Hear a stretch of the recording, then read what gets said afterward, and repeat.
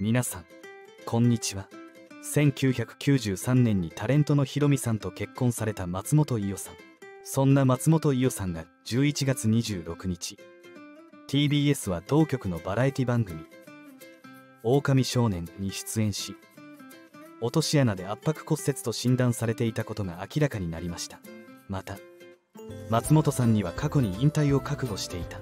という噂があります。そこで今回は松本さんが圧迫骨折してしまった背景や過去に引退を覚悟していた理由についてご紹介していきます。まずは松本伊代さんの簡単なプロフィールから本名小園伊代生年月日1965年6月21日出生地東京都大田区血液型 B 型配偶者ひろみ線身長。157cm 11月26日。松本伊代さんはバラエティ番組「狼少年」に出演した際に事件は起きました。松本さんはクイズコーナーで不正解となってしまい深さ2.7メートルの穴に落下したといいます。穴にはクッションのためウレタンを敷き詰めていたと言われていますが。その後松本さんはしばらく立つこともできない状態になり医師からは腰椎を圧迫骨折と診断されました。現在は入院中とのことです。腰椎圧迫骨折とはどのような骨折なのでしょうか。TBS によると全治は3ヶ月と発表されています。中高年の女性を数多く診察し圧迫骨折の症例を多数見てきた医学博士の岡田雅彦氏によると元通りにはなりませんよ。潰れてしまった骨は基本的には元に戻りません。元の缶詰のような形になることはないということです。手足などの骨折はギブスを巻いて時間が経てば自然につながって元に戻りますが腰の骨は潰れたら元には戻りません。との診断がなされました。腰の骨腰椎というのは横から見ると丸い缶詰のような形の部位と突起で形成されています。それが積み木のように5個連なっておりそれがバラバラにならないようにお互いが人体で結ばれています。腰椎と腰椎の間には椎間板というクッションがありこれによって人間は柔軟に体を回転させたり曲げたりできるわけです。圧迫骨折とはポキッと折れる普通の骨折とは違い。人間の体は一番上に重い頭があり首の骨。胸部分の骨である胸椎。そして腰椎で支えられています。例えば骨の弱い人が転んで尻餅をつくと重力で上下から圧迫されて骨が潰れてしまう。これが圧迫骨折となります。潰れやすいのは腰椎の缶詰のような部分でありここを椎体と言いますがこのお腹側が潰れやすく人体や神経は背中側を走っていますが重症な圧迫骨折ですとそこまで影響を及ぼします。神経まで圧迫されると手足が動かなくなったり激しい痛みが出て手術する必要が出てきます。人間の体は骨や関節だけで支えられているのではなく骨がバラバラにならないように人体が間をつなぐように存在し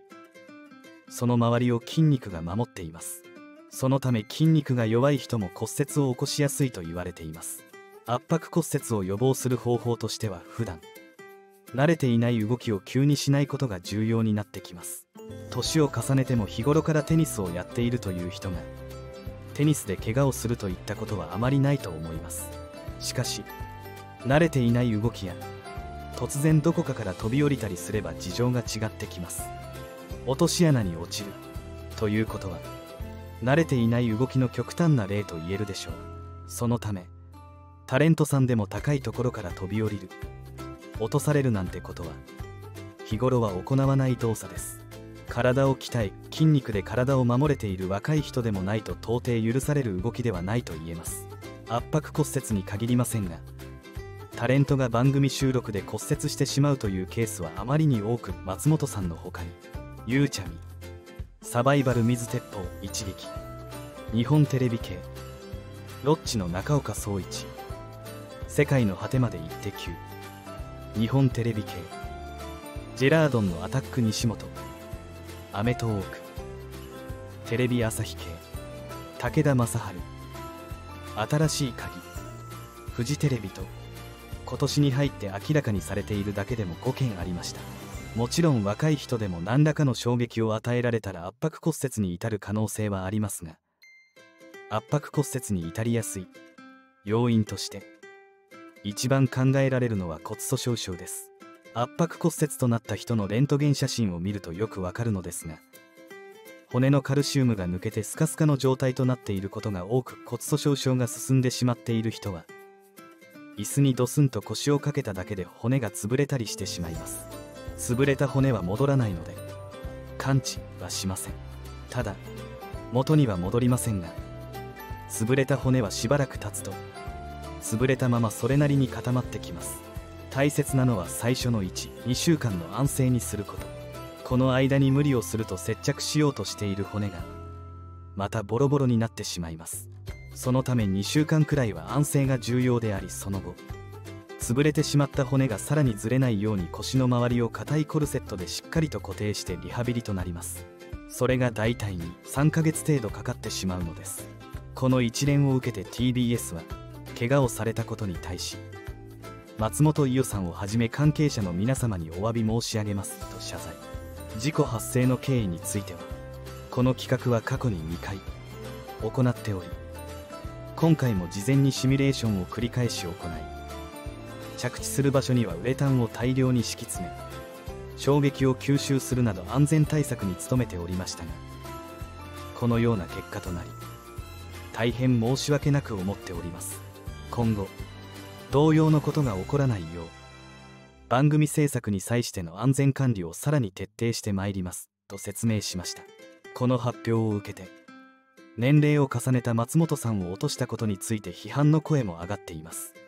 若い AD と突然落とされる57歳では条件が違いすぎるよね。伊代ちゃんが落とされても心配しかないだけ。57歳の女性なら骨粗しょう症になってる可能性もあるのに2030代とは違うんだよ。松本伊代さん。体を張るタレントではなくそういう年齢でもないのにどうして落とし穴なんかに落とされなければならないのだろうなど松本さんを心配する声が寄せられました。また松本さんは過去にも私生活で運動中に無理な体勢をとったことで背骨を圧迫骨折しています。この時骨折したのは胸椎。腰椎の上に並んでいる胸部の骨でした。特に女性の場合は閉経後更年期以降女性ホルモンが減ることで骨粗しょう症が進行しやすいため骨折が非常に起こりやすくなってしまうのです。こうした背景があったので松本さん自身あまり無茶をしてはいけないという意識はあったと思います。また松本さんは2017年2月早見優さんと共に京都市内の JR 山陰本線の線路内に無断で立ち入り鉄道営業法違反容疑で書類送検されたと報じられたことがありました。その後起訴猶予処分となりましたが松本さんの芸能活動は自粛気味になり減少。2017年5月に放送されたダウンタウンナウフジテレビ系に出演した際松本さんは名古屋と大阪の仕事はしてますけど東京でのスタジオの仕事はほとんどないですし家にほとんどいて宅急便の人にも本当に家にいるんですねって言われる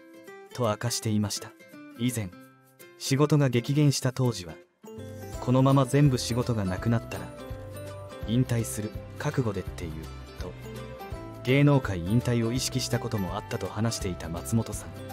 騒動から5年経っていますが仕事に熱心な松本さんは来た仕事は全部受けようという気持ちが強かったのでしょう。現在の所属事務所も夫のひろみさんと伊代さんだけが所属している事務所でほとんど個人事務所のようなものであり事務所が取ってきた仕事を押し付けられたわけではないとしたら松本さん自身に少し焦りがあったのでしょうか。実際2021年に骨折した際も大阪のレギュラー番組を欠席することになり強く反省していたようです。芸能生活が長ければ長いほど頑張りすぎてしまう一面があるのかもしれません。いかがだったでしょうか。今回は松本伊代さんが圧迫骨折された原因と過去に引退を覚悟していた理由についてご紹介しました。ご視聴ありがとうございました。この動画が気に入っていただけましたらチャンネル登録高評価をお願いします。